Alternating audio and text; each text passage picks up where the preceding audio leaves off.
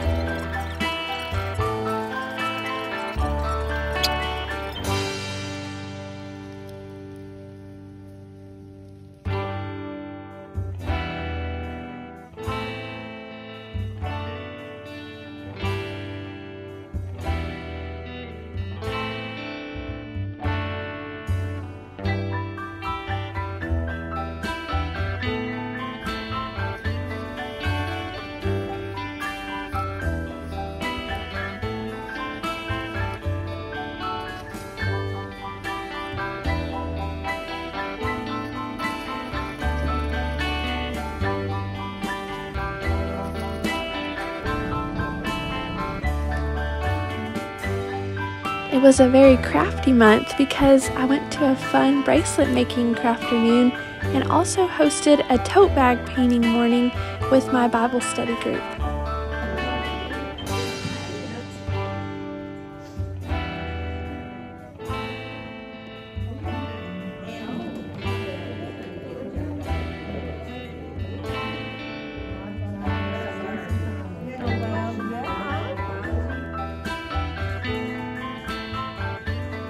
Then it was finally time for the first craft fair of the year. This show is called Time Travelers Vintage Expo, and it is one of my favorites all year.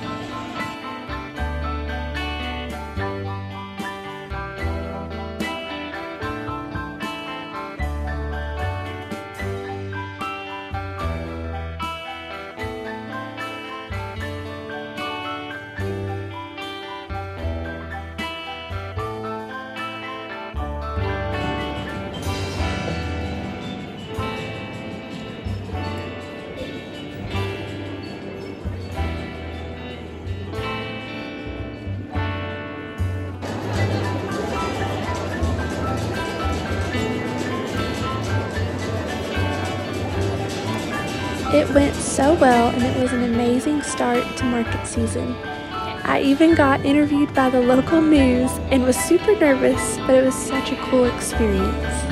Expo travels around the country with its most recent stop coming at the Embassy Suites by Hilton in Rogers. Retro-themed vendors could showcase their old-fashioned clothing, handmade goods, and more. Lauren Law is an artist and illustrator with Painted Peony Art and she showed off some of her work at today's expo, an event she says is one of its kind in Arkansas. I think it's so unique. There's no events like this in our area that's all vintage and um, just the way that people dress up for it and make it a whole special day and um, the other vendors here are just amazing what they bring. Now, there are 10 more expos, uh, 10 more stops in the expo's trips around the country for this year. The next Travelers Expo is in Tulsa, Oklahoma on May 18th.